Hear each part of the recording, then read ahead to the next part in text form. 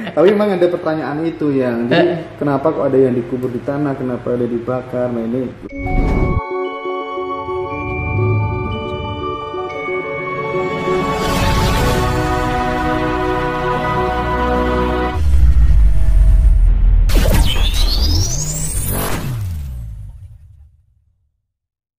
yang sekarang gini, apa sih sebenarnya yang menjadi sumber penderitaan manusia itu? Yang menjadi sumber penderitaan manusia secara umum adalah sistem. Sistem. Ya, selama sistem itu masih tidak dirubah secara frontal dengan istilah revolusi tidak akan selesai. Perubahan itu harus secara komprehensif dan holistik ya. Iya, betul, ya. Karena apa? Karena sejak tahun 65 sampai sekarang masih banyak orang yang punya kepentingan keuntungan untuk memanfaatkan kekayaan negeri ini. Hmm. Padahal satu pulau di negeri ini untuk hidup makan satu bulan bangsa Indonesia itu cukup satu satu bulan. Hmm. Ke, diambil satu hari Iya, lah iya, iya, iya. untuk satu bulan bangsa Indonesia cukup. Tapi sampai sekarang masih seperti ini. Iya. Dan ini harus kembali ke era nanti Majapahit. Karena di Majapahit itu diatur sedemikian rupa yang disebut Wilwatikta, wilayah kota dan ramba. Ya. Nanti ditata jumlah penduduknya sekian ya. Tiap kelompok tuh misalnya 60 juta. Misalnya saya 60 juta lalu saya melahirkan anak saya melahirkan lagi harus pindah dari ring itu di luar ring itu satu rumah di sana ada pun tiap hari makan ke sini boleh tapi harus mendirikan rumah di sana jangan sekarang melumpuk padat ya sisi pulau Jawa ini amblek kabotan wong kabeh gedung-gedung gitulah terus Ramba adalah wilayah di mana di itu ada sawah ada kebun ada pertanian ada perkebunan ya. Hidup dari situ. Dan sistem gotong royong misalnya di Singosari hasilnya eh, langsep ditumpang hasilnya padi. Sekali tempo kita barter di situ Kalau ya. gitu ya, ya. kebetulan kemarin itu Bung Karno itu memang hebat. Kemarin itu saya nemu koin dek tahun 1947 jadi Bank Blitar gitu. Bank Blitar. Tapi tidak ada rupiahnya. Bank Blitar itu ada. Koinnya tidak tahu nemu. Terus oleh adik saya Pak ini harus disimpan di dompetnya Bapak gitu. Jadi Bung Karno pada waktu itu untuk merdeka harus berani mandiri nek perlu nggak duit dewi Hmm. kasarannya gitu loh ya Makanya sekarang kalau bisa kita printing money sendiri. lah sekarang itu kan akhir-akhir ini kita di remote sama dolar Iya. kayak gak ngira lah Amerika terjongor ini kejongor Mereka Cina dan Amerika itu bebas printing money. nah Kita kenapa? Iya, iya, Kok iya. nggak dang segera? lah itu kalau sumber penderitaan dari dari jahat sama yang jati. Kemudian sumber kebahagiaan manusia sebenarnya letaknya di mana ya? sumber kebahagiaan kita itu sebenarnya tergantung dari kesadaran pikiran kita untuk menata bahwa entoh besok mati itu kita tidak akan membawa apa-apa. Kalau mati masih ketempelan debu satu saja, artinya masih belum sempurna. Harus nol, zero. Jadi kalau seperti kakek ini, kalau malam sudah tangan saya begini, setelah mohon pada yang maha kuasa, pasrah saya.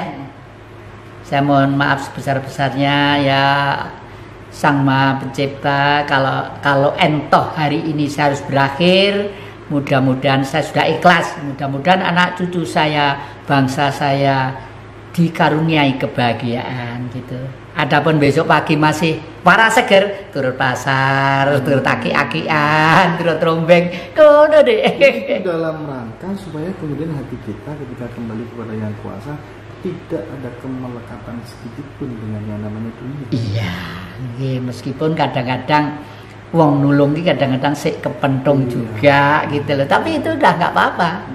Nggak apa-apa. Jadi memang romantika hidup, Tapi romantika. itu PR-nya setiap manusia harus itu yang Harus seperti itu. Mulai karena itu sekali lagi satu sadar bahwa alam itu perwujudan Allah. Iya, iya. bahwa rumah itu sekecil apa pun ya harus bersih, harus indah bersih dengan penuh cinta kasih. itu karena sudah merupakan rasa syukur ya cucu-cucu saya itu sudah seneng nyiap nih sesaji-sesaji kalau mau Jumat legi yeah. gitu. Padahal laki-laki, padahal dosen sudah. Cucu yeah. saya itu sudah asisten dosen, sudah dosen juga gitu. Seneng seperti itu, ngerti ya, semua raji gitu. Baik melok seneng gitu loh. Yeah. Ayem itu anak sing terus nih gitu ya. Oke. Okay. Kemudian uh, ini bicara tentang nasib yang jadi. Hmm yang jadi melihat nasibnya manusia itu sebenarnya yang menentukan itu Tuhan ataukah manusianya sendiri sebenarnya? Yang menentukan manusianya sendiri. Manusianya sendiri. Iya Tuhan tidak akan lalu apa Tuhan ngurusi jati? Memangnya jati itu istimewa? Tuhan itu jangankan jati cacing itu diberi keistimewaan ya toh? Cacing diberi keistimewaan. Keistimewaan cacing apa Cacing tidak punya tulang, tapi keistimewaannya pada waktu nanti semua kehidupan itu ya yang basah di, di tanah pasti yang bergerak cacing. Kalau hidupnya tidak berkembang ya karena dia nggak mau melakukan cipta rasa. Lah iya. kan udah ada software pikiran ini. Ya, lah ya. betul betul betul. Okay. Bahkan saya pesen hari raya yang lalu, cucu-cucu duduk sini, saya duduk di situ. Yeah le ger ganteng-ganteng ya. Kakek ini sudah bangga sekali dengan cucu-cucu kakek ngerti bahwa semuanya itu dipelihara dengan baik. Kakek pesen ya andai kata nyawa itu mau ganti alamat ya. Coba bongkar di buku-buku itu siapa tahu kalau kakek itu masih nyimpen beberapa duit itu biasanya tak simpen di situ gitu. Tak simpen di situ nanti tolong dibakar saja Terus abunya itu satu ditaruh di pedepokan saya di Singosari sudah saya buatkan tempatnya gitu. Yang satu kalau ke laut selatan males dibuang aja di Sungai Bangau, entoh nanti akhirnya ke laut. Iya, iya. Kenapa kok seperti itu? Semakin cepat hablur jasmani ini kembali ke alam si sebelumnya semakin bagus. Oh.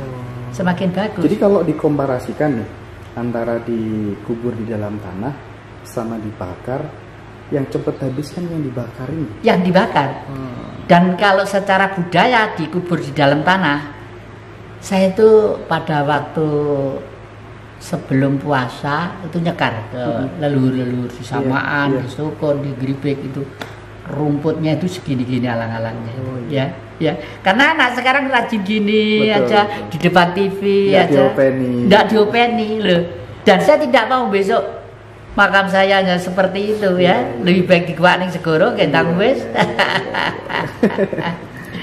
iya. Tapi ya tidak bisa dicentralisir juga ya, ya. Iya ya. iya Ento kalau udah mati dibakar nggak sakit betul. Tapi memang ada pertanyaan itu yang. Jadi eh. kenapa kok ada yang dikubur di tanah? Kenapa ada dibakar? Nah ini lebih cepat. Yang mana itu ada pertanyaan ya, itu hmm, itu budaya okay. keyakinan manusia aja. Kembali kepada orangnya ya hmm. ya. Hmm. Uh, semua motivator hampir sepakat dengan hmm. dasarnya kekuatan pikiran manusia. Hmm. Bagaimana yang jadi kusumo? Apakah juga sepakat juga tentang? Waduh, sangat sepakat. Sangat sepakat. Sangat sepakat. Jadi kalau non jauh nggih, saya itu cita-cita saya menjadi raja. Lo kan aneh. Iya. Nah, jadi raja. Itu dan itu baik senengannya ketoprak baik waktu mesti begitu. Tapi tidak tahu kenapa karena saya itu dalang ya. Yeah dalang. Makanya sistem politik di Indonesia itu sebelum kembali sebagaimana Mahabharata dan Ramayana mengajarkan tidak akan selesai. Tidak akan selesai. Kenapa ingin menjadi raja? Raja itu cukup seseorang ya yang sadar dirinya untuk pasrah demi kepentingan yang diperintah. Contohnya adalah Puntadewa Punto Dewa itu lambang seorang pemimpin. Ya, sederhana pakai gelung mau ikat dicencangin itu nggak pakai sumpah nggak pakai ini. Kalau saya masih embel-embel macam-macam ya karena artis ya artis ya. Tapi raja tidak seperti itu. Entah tidak mungkin nanti seorang raja di anu eh kendaraannya carikan apa lenai sitok rada murah. Mesti paling tidak negaranya kaya dicarikan yang teristimewa. Rorois kayak apa kayak ya toh gitu. Makan tidak boleh berasin syukur angger mesti paling tidak dicarikan yang bagus. Malah ini dulu-dulu datang kita akan kembali ke sistem makan lama. Oh gitu ya. Itu cara Majapahit apa? Okay, okay. jagung cantel. Iya. ah, Pak Win itu teman saya itu mau membudayakan jagung cantel. Mm -hmm. dan buah mojo itu merupakan buah yang istimewa istimewa. Itu kalau dibuat jenang dibuat keripik dibuat macam-macam hasilnya bagus. Makanya Mojopahit bisa meng, apa ya mensupport tentara disebar dua per tiga dunia. Ternyata rahasianya di situ. Kalau beras itu kita import yeah. dari luar ya. Apalagi setelah masuk ke Orde Baru lalu beras ini mendapat uh, beras itu harus di ini di apa pupuk yang macam-macam ya akhirnya menjadi tubuh-tubuh ini ya. Gitu. Memang kalau kita bandingkan antara cara bernegara seperti di Indonesia ini dengan cara bernegara negara-negara yang makmur dan maju seluruh dunia itu kan rata-rata sistemnya kerajaan semua ya. Mm -mm. Indeks persepsi korupsinya yang kerajaan itu juga rendah banget rendah banget. kita ini taruhlah kemudian ini mau jadi koruptor ya. paling nggak cuma ada satu pintu nah. rajanya saja ya. nah kalau seperti ini semuanya pintu koruptor terbuka mulai dari presiden menteri Waduh. gubernur bupati ya nggak kira-kira ya itulah mengomong sampai malu malu mengomong tuh malu sebagai bangsa itu lo malu deh ya hmm. karena nggak pantas lah negara pancasila seperti itu nggak pantas ya oleh karena itu ada suatu negara dulu pernah jajah kita namanya Belanda ya. Hmm. Belanda itu penjaranya itu kosong deh. Tidak ada kriminal, korupsi, tidak ada tukang copet, tidak ada maling, tidak ada. Sampai menghimbau kepada negara tetangga-tetangganya, kalau anda kelebihan kriminal, tidak muat, ini loh saya punya penjara, anggarannya sudah ada, beras disiapin, gula disiapin, obat-obat tapi nggak ada isinya. Mbak punya anda dikirim ke saya loh kok sampai seperti itu? Coba. Heran saya. Dan mereka kerajaan. Kerajaan. Inggris kerajaan. Ya. Betul, Inggris betul, itu betul, ngaku sendiri. Saya itu sebenarnya mengeterapkan teori pada waktu Majapahit kuasa. Nah Majapahit kok bisa pengaruhnya dua per tiga dunia itu. Oh Inggris juga begitu sekarang. Punya Brunei Darussalam, Commonwealth-nya punya Australia, punya ini, punya ini. Oke. Okay. Uh, eh, kemudian ada, ada pertanyaan yang dari Mbak Silvi. Ketika kita dihina dibenci sama seseorang, bagaimana mengolah hinaan itu menjadi sebuah kekuatan untuk meraih masa depan yang terbaik? Hmm kalau kita kalau misalnya kakek ini menghina atau mencemooh Mas Indra, Mas Indra yang untung. Karena endapan kekeliruan Mas Indra disedot saya. Itu. Oleh karena itu dengan keyakinan hukum cinta kasih tadi itu saya tidak sampai nyedot kesalahan orang untuk numpuk ke ke spirit saya ke jiwa saya. Itu Hmm. Oleh karena itu hukum cinta kasih, kasih sayang, kamu adalah saya, saya kami adalah kita. Nah, itu hukum yang bagus. Oh iya, iya, iya. oke udah terjawab.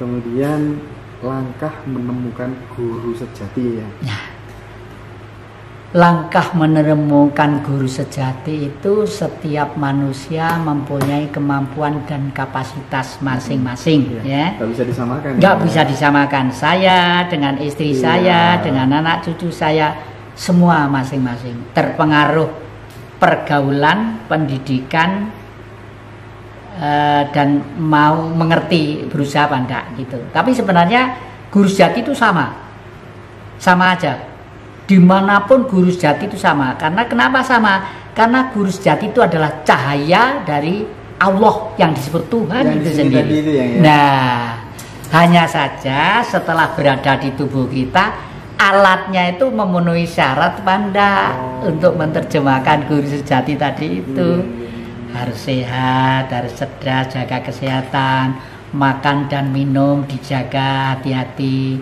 jangan sembarangan ya toh? Itu menjaga. Terus jangan membiasakan diri sesuatu yang keliru misal. Oleh karena itu pedomannya lima. Uh. kalau sang Buddha itu 500 tahun sebelum masehi yaitu angan-angan benar pikiran benar